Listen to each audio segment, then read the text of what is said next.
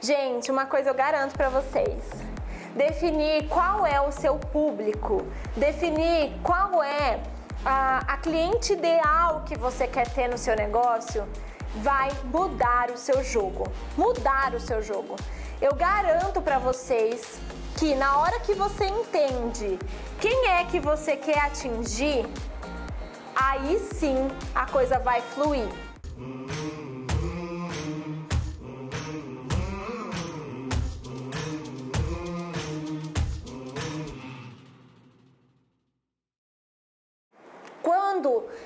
entendi que o meu método era incrível para empreendedoras de pequeno e médio porte, as minhas vendas fizeram assim, ó, cresceram muito. Tainá, como que eu vou criar conexão com a minha cliente ideal? Eu vou dizer para vocês que todos os outros passos dependem de definir o seu público. Eu sei que não é fácil. Eu sei que é um processo difícil definir o seu público, escolher quem é a sua cliente ideal. Eu sei disso mas isso é fundamental para que você consiga entender. Eu vou dar o exemplo para vocês da Lauren, que é minha mentorada, é um dos nossos cases de sucesso. A live dela tá lá no meu Instagram, depois vocês podem lá ver. A Lauren, ela faz geleias artesanais e agora ela faz molhos artesanais também. E na época que ela começou a fazer geleias, a primeira coisa que ela fez, ela queria agradar todo mundo. Então ela começou a fazer geleias com açúcar e as pessoas começaram, ah, porque tem açúcar, porque isso, porque aquilo. E aí, o que, que ela fez? Começou a fazer com xilitol. Mas ela não gostava de fazer essa geleia com xilitol porque ela achava que não ficava, sabe?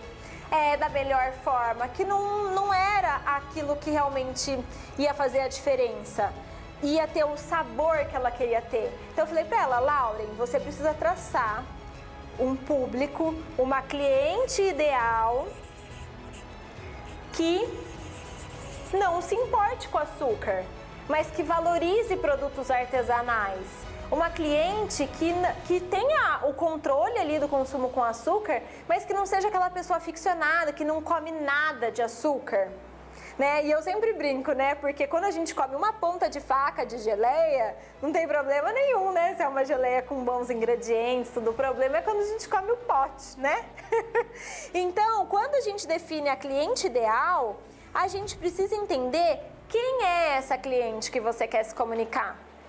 Quando eu vendia cosméticos, por exemplo, eu tinha a minha cliente ideal traçada né? Dentro da linha que eu representava, tinha cremes, tinha maquiagem, tinha perfumes e tinha consultoras que assim, arrasavam na maquiagem, na maquiagem avançada, né?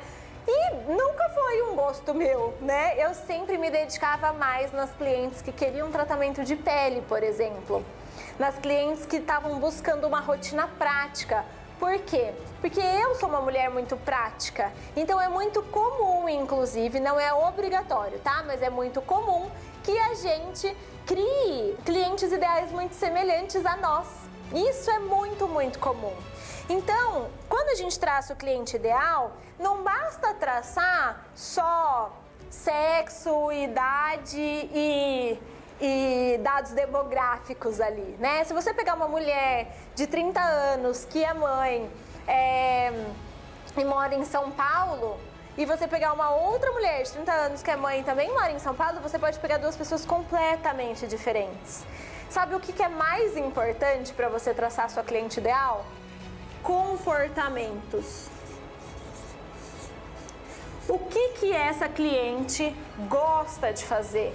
Que lugares essa cliente frequenta? O que, que essa cliente valoriza? Então, é, a cliente ideal, ela é fundamental. Então, é muito importante que a gente entenda esse passo aqui, o número um, que é o passo da cliente ideal, que é o passo do público, que é você pensar na coragem que você precisa ter para que você defina a sua cliente ideal tá?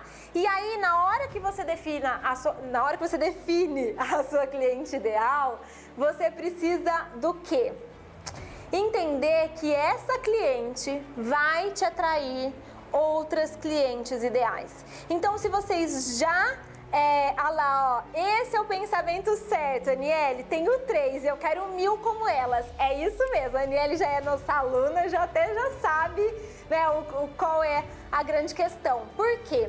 Na hora que você pensa numa cliente que você fala assim, nossa, eu quero mil clientes iguais a ela, eu quero cem clientes iguais a ela, essa é a sua cliente ideal. Começa a fazer um dossiê dessa cliente. Você anotar é, quais são as profissões da sua cliente ideal, o que, que ela faz, o que, que ela deixa de fazer. É, e a Deb tá ali, né? Como achar essa cliente ideal?